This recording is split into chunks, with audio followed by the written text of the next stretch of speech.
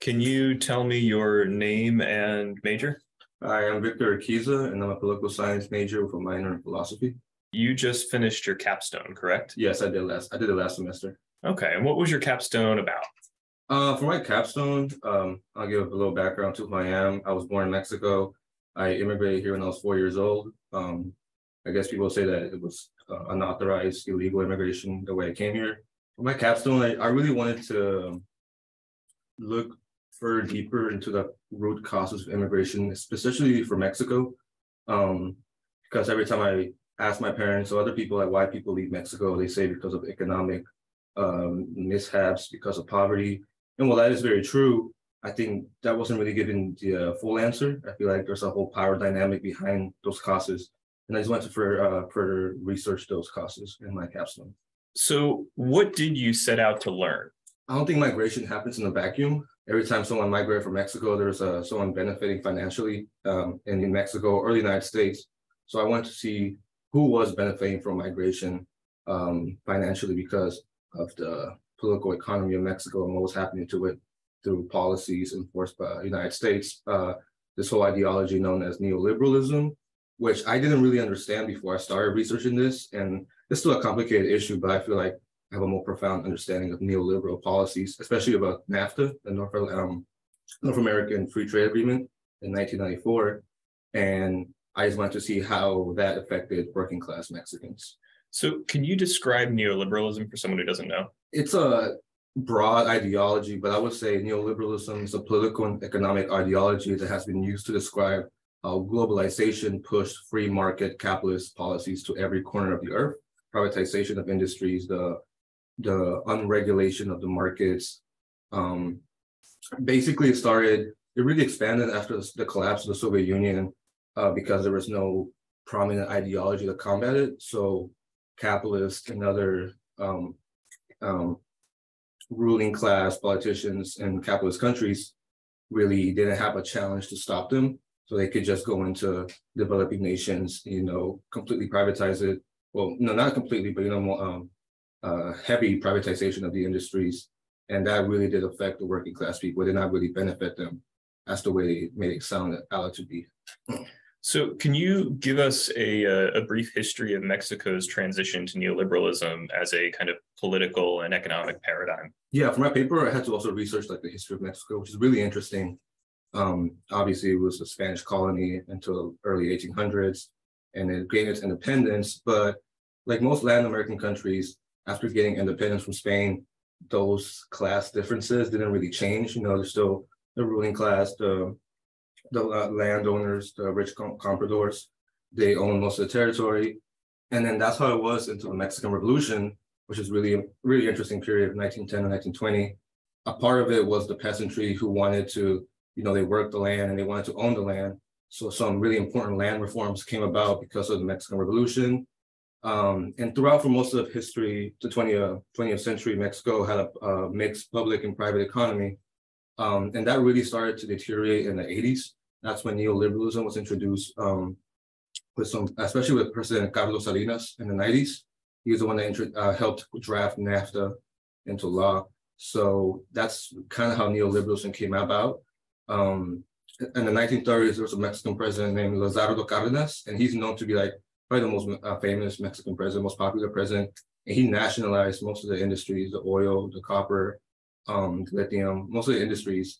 And basically, with neoliberalism, those industries that were once owned by the Mexican state now were owned by American companies. Why did Mexico move toward neoliberalism? There was a lot, one of the main reasons was because there was a lot of corruption with the state-owned companies the economy in Mexico in the 50s and 60s wasn't that bad. It actually kind of grew. And then the 70s, 80s, it started kind of declining. Um, there's many reasons to this. And one and the United States took advantage of this decline. So that's where a lot of neoliberals went into Mexico uh, who studied in the United States, especially uh, University of Chicago. So they came into Mexico saying that, oh, we're gonna bring Mexico to the first world. You know, Mexico's not gonna be a third world country and that's what kind of like sold uh, this neoliberal policies. So, can you talk a little bit about the impacts of NAFTA and these neoliberal policies that you're talking about? Mm-hmm. like I said, before NAFTA, um, much of the Mexican industries were nationalized. Um, but with NAFTA, it opened up almost 90% of the economy to private investment. So that meant that all these industries in Mexico, from whatever the energy, the oil, all these industries were not were able to be bought up by American companies. And so now you have an American CEO in Wall Street or wherever owning the energy sectors of Chiapas, which is one of the poorest places in Mexico. And what do they know about the people who live there? They don't really care about the people who live there. They're only there, they're only in Mexico therefore making a profit. So this is where like, while yes, it might bring investment, might bring in more production, that doesn't necessarily mean it's gonna improve the lives of people. In many of these cases, um, jobs were created in, in northern Mexico because of the industries that were like opened up by American companies, but the pay they were receiving was not enough to live on. So yes, some jobs were opened up, but they weren't actually like good living wage jobs. Um, and this created inflation and other sort of um, factors. But one of the biggest factors of NAFTA was in the agricultural sector. After the Mexican Revolution, this system named the um, ejidos, which basically like the peasantry, the, the indigenous, mostly indigenous people who live in the rural parts of Mexico were able to like own their lands. So it was like land reform. And with NAFTA, all that was privatized. So this is like what really sparked such a um, mass migration because all these farmers who literally could not work anymore. So not everyone left, right? Mm-hmm. And there was some resistance, and you write about this in your in your capstone. So can you tell us a little bit about that resistance? There's this group called the Zapatistas in Chiapas, Mexico. This group started off in the mid '80s with some guerrillas um, who were Marxist Leninists in a sense. They were inspired by the revolutions in um, Central America and Cuba. Um, so they left to Chiapas um, in hopes of starting like a socialist revolution. But when they got there, they realized that this class analysis that they had in mind didn't really intrigue the indigenous people there. You know, they they were like, we're not the proletariat, we're just indigenous like people living here. We've been exploited by the Mexican state. So they kind of switched tactics and like adapted to, to the situation in Chiapas. And that's how they build up so much like um, support with the people there. And with the passing of NAFTA, they actually declared war on the Mexican government in 1994 on the January 1st. And they took over a couple of towns for a couple of days, for 12 days, I think. I'm not exactly sure. Basically, they believed that neoliberalism was a death sentence to them. And in many cases, it was. Um, because obviously, Carlos Salinas, the Mexican president at the time, he used NAFTA as an excuse to propel Mexico to advance it to the first world while kind of leaving behind so many other people. So while the ruling class, the rich already were becoming richer, the middle class, like upper middle class, sort of grew. All these the working class with peasantry were kind of forgotten about, and that's really what sparked the Zapatista um, uprising. So, and they demanded just that indigenous people have a seat at the table. So, what were their methods? They were, I won't want to say violent, but they did use on arms. They had guns. Um, they really did not target any innocent people. They didn't. They didn't shoot any soldiers unless they were shot at um, the lead, the spokesman for the Zapatistas at the time, Comandante Marcos, was very, very intentional about this. He critiques other other um, socialist revolutions who might have used unnecessary violence, and he really was against that. But the government didn't really care about that. They were the ones that used the most violence against them, you know, that portray them as terrorists in Mexico. But that didn't really work out because um, during these like 1994, 1995, there were mass up, like protests all over Mexico with supporting the Zapatistas, you know, even today. So there was massive support for them uh, because everyone kind of understood. If you look at the material conditions that existed in Chiapas, they were abysmal. You know, they're the poorest people in Mexico. And how can you try to bring Mexico into the first world without ad- addressing the root causes of like of the poverty that still remain? And neoliberalism didn't seem to address that because they didn't really care about the poor people in a sense. Were they successful? It is interesting because I would argue that when they first up, um, they first took arms and declared war on the Mexican government. Their plan was to spark like other like people would join in in Mexico, you know, and overthrow the Carolino Sali, the PRI Party. They quickly realized that that wasn't really reasonable at the moment, so they kind of adapted to their situations, and now they control certain parts of Chiapas. I would say they're successful in that sense that they're able to provide a better life for the people there even though it, you know, it didn't spark this massive revolution in Mexico. Um, but the, the territory territory they do control has seen vast improvements because of Zapatistas and how they dictate their way of living. Can you do you see any impacts uh, today in Mexico's politics as a result of the Zapatista movement? Yeah, I think um I think they gave voice to a lot of people who have been who were very angry with the PRI party that had ruled in Mexico.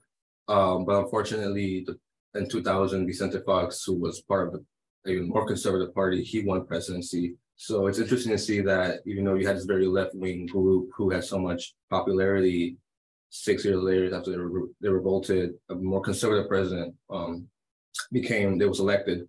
Uh, but now you have uh, AMLO, which is I wouldn't call him a leftist, but he is certainly more left leaning than other Mexican presidents. And he actually just yesterday or a couple of days ago had a really interesting speech in Mexico City, how he's declaring that Mexico is very is sovereign from the United States and he does not allow the United States to bully Mexico. So there is that progressive wave that's happening now, and he is one of the most uh, popular presidents in Mexico. So it's interesting to see how, from the Zapatistas, how that progressive element has been propelled in Mexican uh, society. I'm going to ask you to make a, a bit of a prediction. Mm-hmm. Where do you think Mexican politics is going? I do think since AMLO has been very popular, he's um, his approval ratings when he just joined was like up in the 80s, yeah, 80%, which is absolutely insane. Um, it has gone down.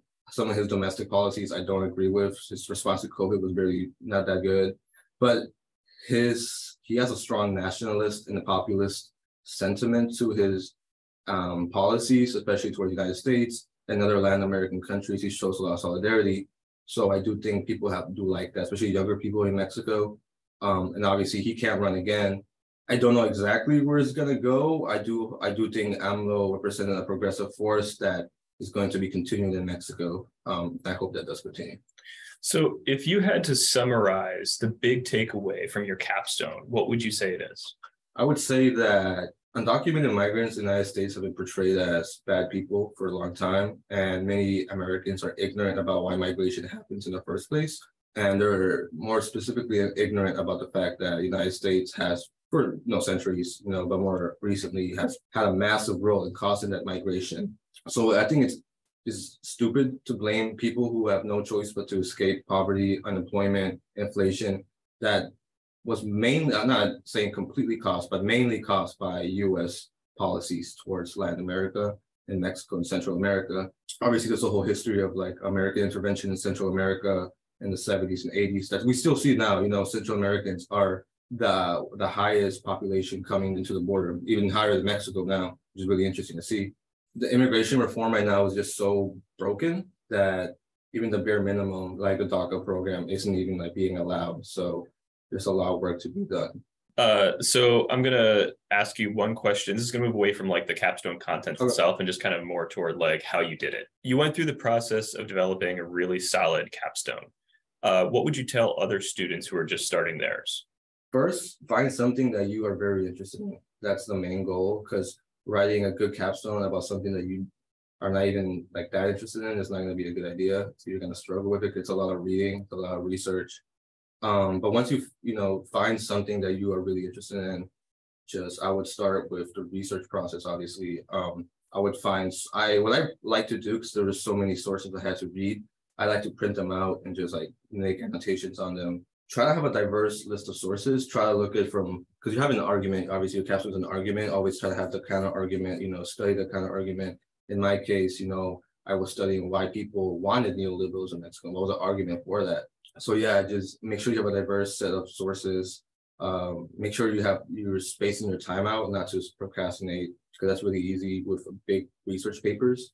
Um, start as soon as you can and seek help if you need to. You know, the professors or just um, resources on campus that may help you with this. Well, thank you very much. Mm -hmm. Thank you.